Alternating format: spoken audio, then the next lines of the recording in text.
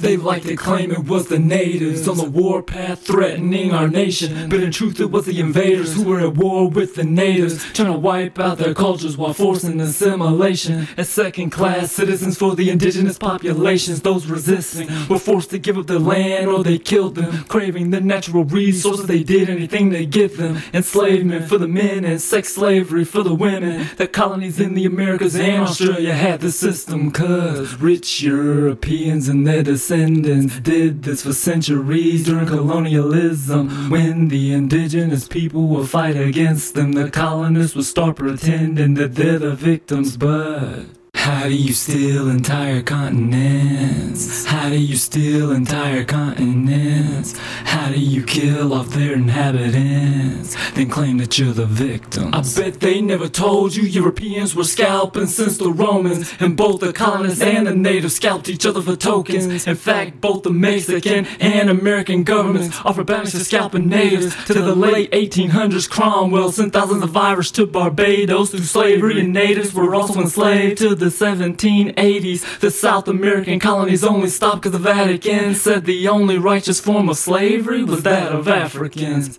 Adopting the Talmud's curse of Cain and virtually all Abrahamic denominations claim black people were destined for this enslavement, enabling many races for generations. But how do you build slave colonies? How do you keep slave colonies like Jamaica, Barbados, and Haiti? Then claim that you're believers, huh? I would think they'd know. Tell me why so many had to die. But the less they know, the more that they can lie. When the Somerset case in 1772 into slavery in England, abolitionists tried to extend this throughout the British kingdom. Only then did our wealthy slave owning men of business and their Freemason friends decide to fight for independence. Later, call the founding fathers that cried for rights and liberty. Even though they oppressed the natives, blacks were slaves and women were property, and most white males were workers or indentured servants that couldn't vote, but the founders needed the numbers for their purpose. Using war propaganda, they launched a successful rebellion by convincing workers to join them, even though those who helped them still had no voice under the Articles of Confederation. But the founders got their nation, now they can set the sights on the natives. So then they continued with their invasion, breaking the will of the natives through subjugation, taking the sacred lands, no compensation, deface them with plantations and mining operations. How did you think they built this country?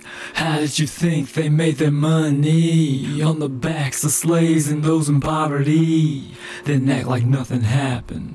But I would think they'd know.